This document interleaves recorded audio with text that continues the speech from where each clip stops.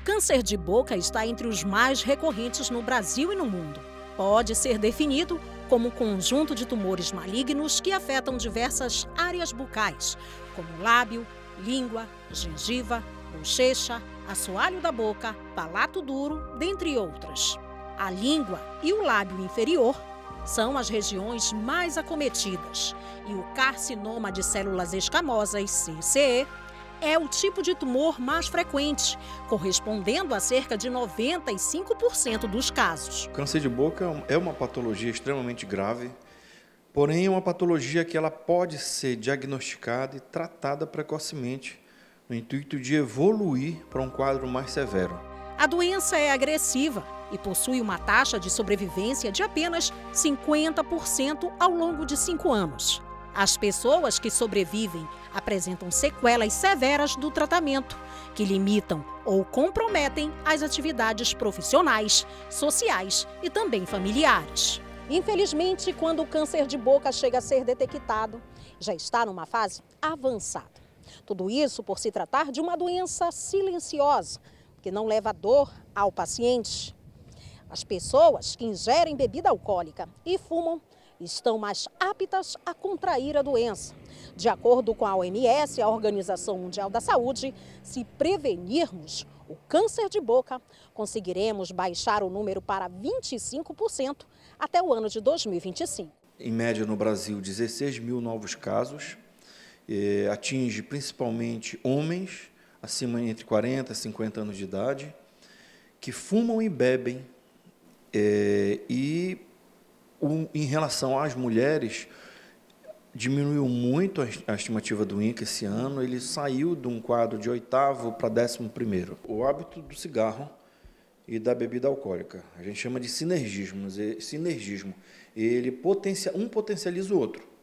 Então ele faz com que a doença surja mais rápido e se agrave mais rápido feridas nos lábios e na boca que não cicatrizam por mais de 15 dias, manchas ou placas vermelhas ou esbranquiçadas na boca, sangramento e sem causa conhecida em qualquer região da boca, nódulos, caroços no pescoço, rouquidão persistente.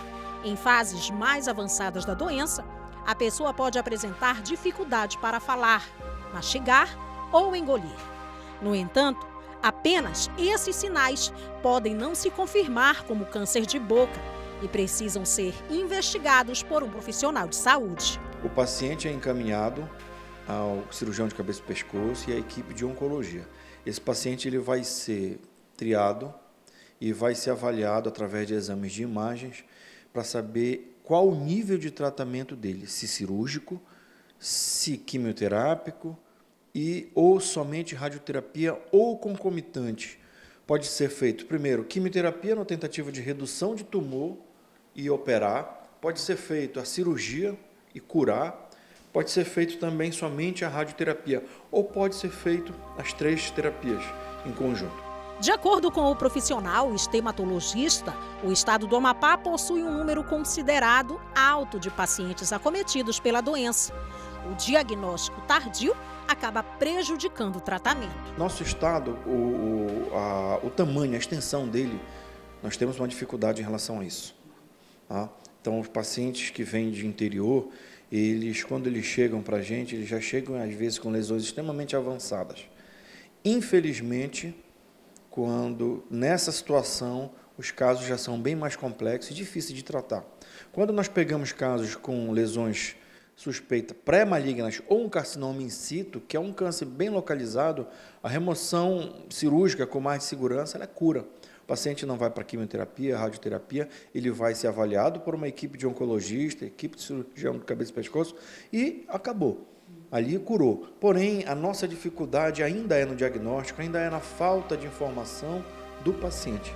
O diagnóstico e o tratamento do câncer de boca são feitos quando a situação está avançada. Aumenta a chance de se disseminar para outras regiões e, consequentemente, cresce o risco de morte e a qualidade de vida pode ser comprometida.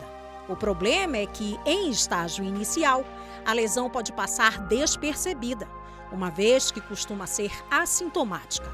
Os sintomas só são experimentados quando os pacientes estão em estágios avançados, quando já há comprometimento de outras estruturas. O medo de descobrir a doença também acaba afastando o paciente da casa de saúde e piorando a sua situação. De acordo com o doutor Elvis Cunha, o Amapá possui esse tipo de tratamento via Sistema Único de Saúde. Pensar que é câncer faz com que ele se afaste de uma unidade de saúde, que ele se afaste dos profissionais e faça com que essa lesão aumente e se transforme em um tumor extremamente grande e difícil de tratar. Hoje nós possuímos aqui no estado do Amapá esse atendimento é, pelo SUS, doutor, para câncer de boca? Sim, sim, sim. O paciente diagnosticado com câncer de boca, ele é encaminhado ao cirurgião de cabeça e pescoço no Hospital de Clínicas Alberto Lima. A partir desse momento, ele vai ser avaliado, ele vai ser encaminhado para cirurgia ou para oncologia. Caso necessite de radioterapia, ele vai via TFD até a nossa radioterapia chegar. Mas aqui existe o tratamento sim do paciente com câncer de boca. O câncer de boca tem cura, principalmente se diagnosticado e tratado nas fases iniciais.